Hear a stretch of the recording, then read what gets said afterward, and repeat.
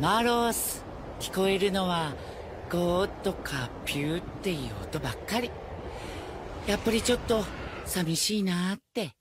もしかして冬のロシアは遊べないとか？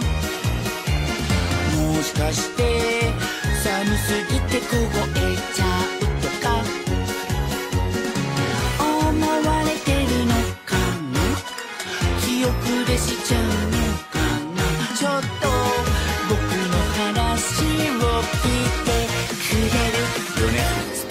は海や川は天然のスケ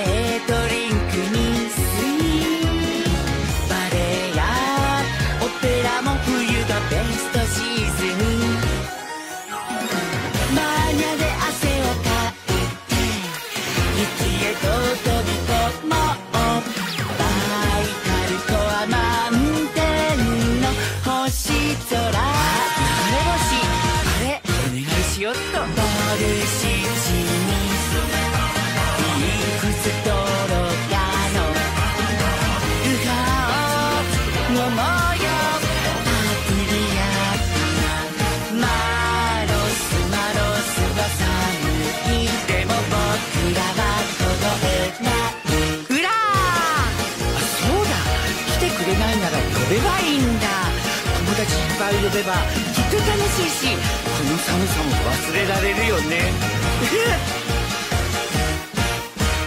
防寒は簡単なんだよ教えてあげるえー、っとセーターでしょコートでしょ帽子マフラー手袋耳当て滑り止めブーツとあと全てで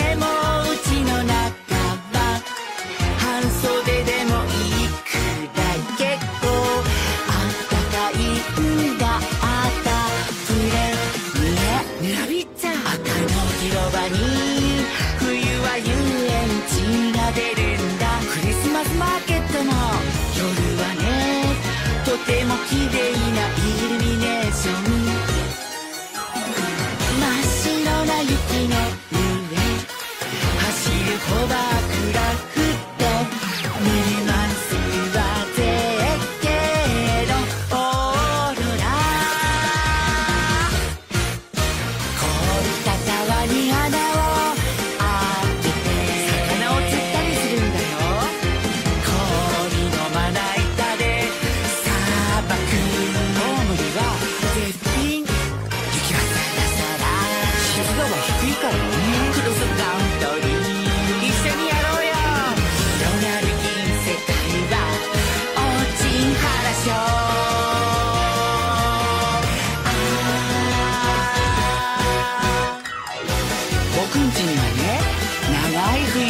に過ごすためのお楽しみがたくさんあるんだ。